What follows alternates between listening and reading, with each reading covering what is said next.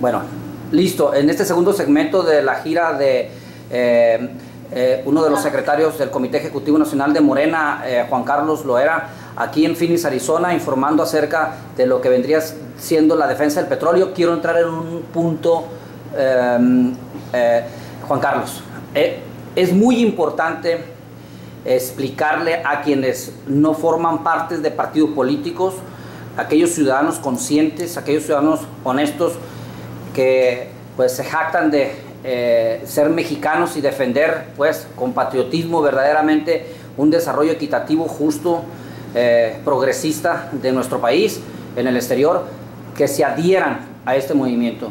Y por supuesto mi admiración y mi respeto también porque pues tú eres un empresario.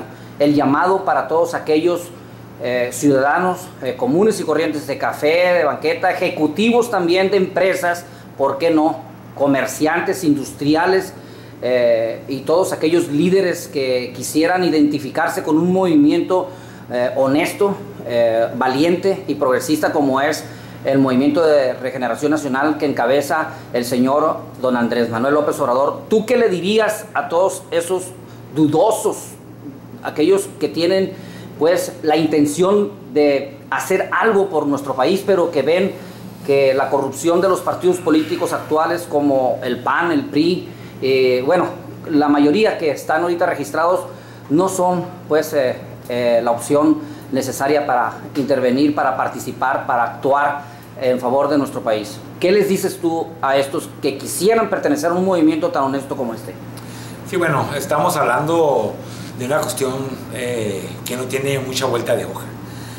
Como lo decía, el presupuesto mexicano se basa en 40% en los ingresos petroleros, privatizar, privatizar el petróleo, privatizar la, la, ganancia de los hidrocarburos equivaldría a cortar de tajo ese ingreso, ese ingreso con el que, con el que se construyen las escuelas, los hospitales, con el que se ejecuta el gasto eh, social. Y de qué manera el gobierno mexicano pudiera sustituir ese ingreso, pues subiendo los impuestos.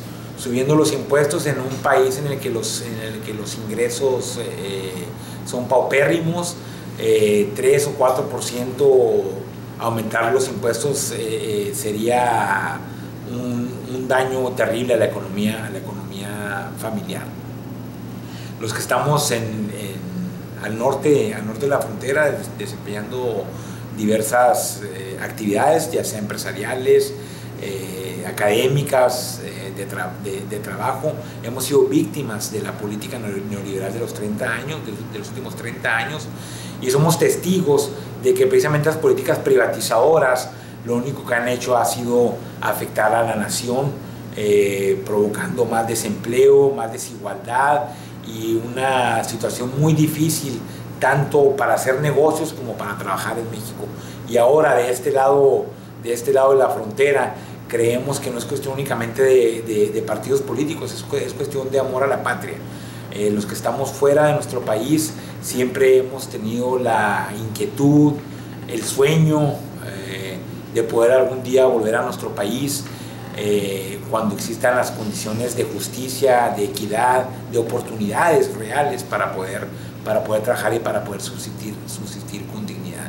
El atraco que se pretende hacer al petróleo en nada abona para que esas condiciones se puedan cumplir.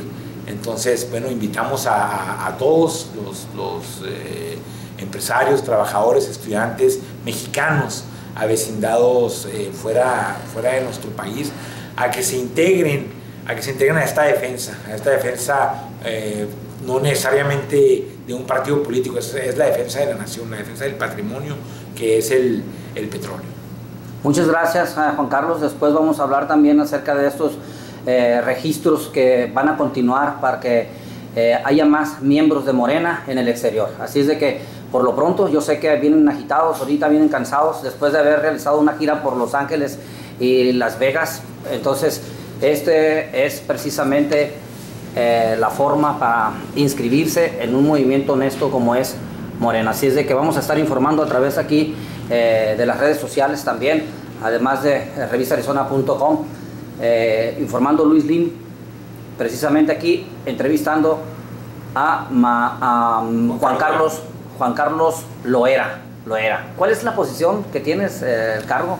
Eh, Exactamente. Estamos encargados, encargados de la Secretaría de Mexicanos en el Exterior y Política Internacional de Morena. Muchas gracias, Juan Carlos. Gracias. Un abrazo.